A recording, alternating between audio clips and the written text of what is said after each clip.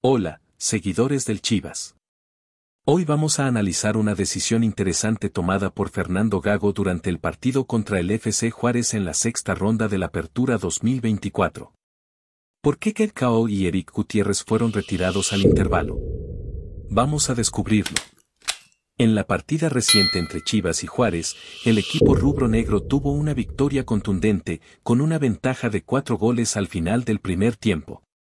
Con el marcador ya bastante cómodo, Gago tomó la decisión de sustituir a dos de sus jugadores más importantes, Kerkao y Eric Gutiérrez.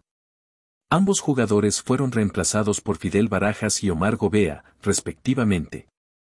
Aunque la decisión sorprendió a algunos, no hay razones para alarmarse. Según las últimas informaciones, no se reportaron lesiones ni problemas físicos para Cobel y Gutiérrez.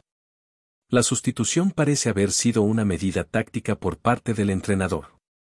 Con el resultado favorable y el equipo ya en control del partido, Gago decidió aprovechar la ventaja para dar descanso a dos de sus jugadores clave.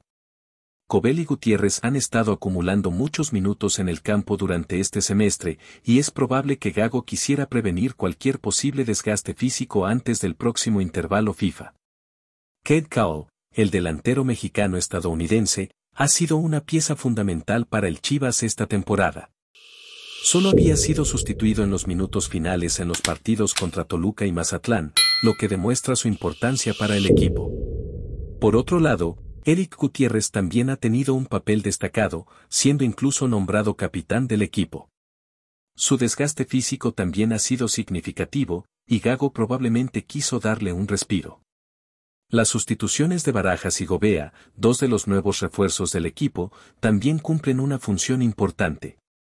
Además de dar descanso a los titulares, estas sustituciones permiten a los nuevos jugadores adaptarse al ritmo de competencia y demostrar su valía.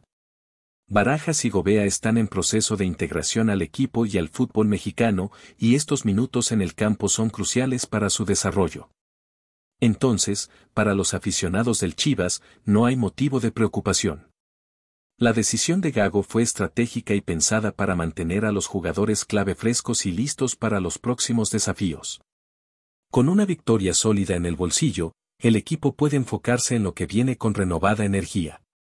¿Qué opinas de la decisión de Fernando Gago? ¿Crees que fue la correcta para asegurar el rendimiento del equipo a largo plazo?